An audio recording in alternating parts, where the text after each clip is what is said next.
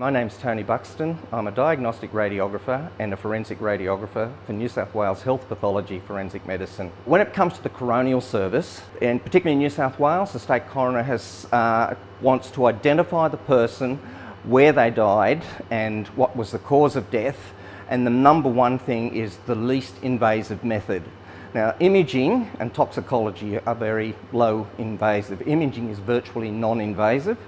I appreciate concerns that families have about uh, doing invasive autopsies on their loved ones and only really confining it to those cases where it's absolutely necessary. And I understand and appreciate that. That's where I think the CT scan comes into its own. It's allowed us to essentially look internally at the body, but as I say, without even opening the body bag.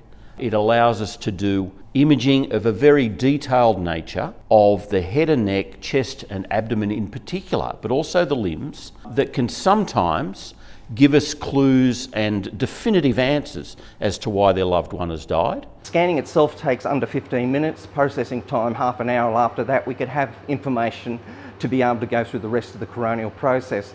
So we can get very quick information back and the family are aware and they know what's happening. So, for example, if someone's suspected of having a heart attack, given their symptoms leading up to their death, maybe chest pain, shortness of breath, and so on, we do a CT scan.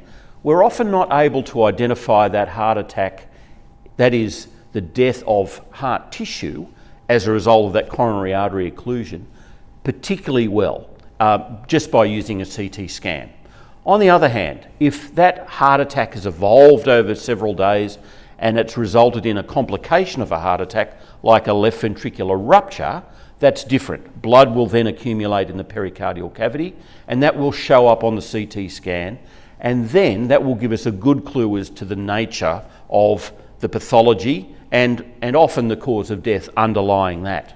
So that cuts down a lot on time taken to investigate the case time taken to examine the body. It cuts down on a lot of work health and safety issues, infection risk to staff, um, and allows uh, to, the ability for families to have the body of their loved one repatriated or returned to them much sooner than in days gone by.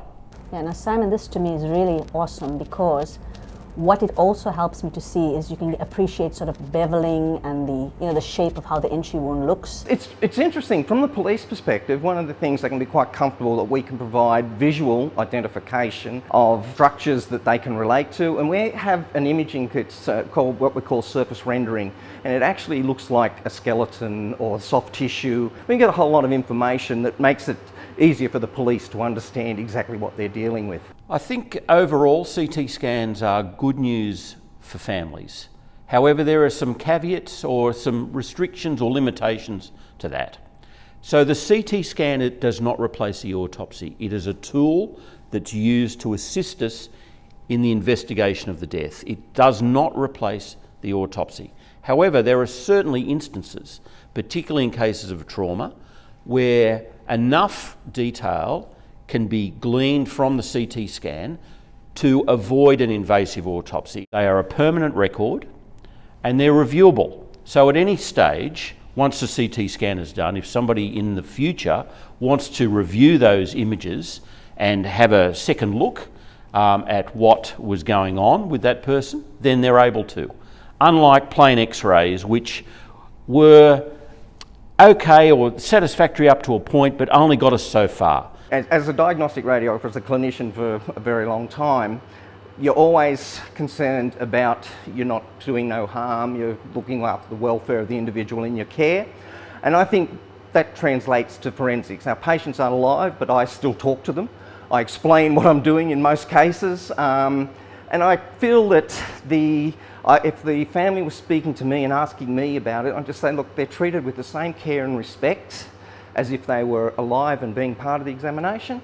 And we do everything we can to assist as quickly and as safely as possible in the identification so they can move on uh, with the family arrangements.